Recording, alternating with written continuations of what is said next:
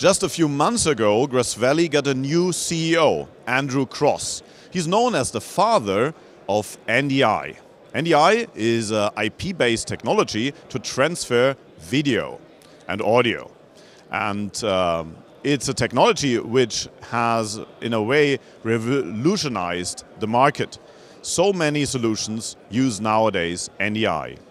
And Andrew has some news for the Edius users today. So Andrew, you have news for the Edius community. I do.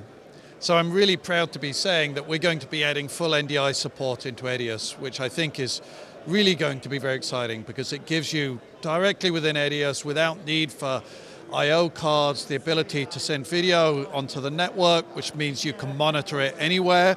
You can be running in the cloud and monitor it locally, or you can monitor it in different rooms in the building. So it's really going to enable a lot of really great workflows within basically the Edius editing community. Thank you so much. I guess the community will love that. Thank you and have a great IBC. Thank, you. thank you.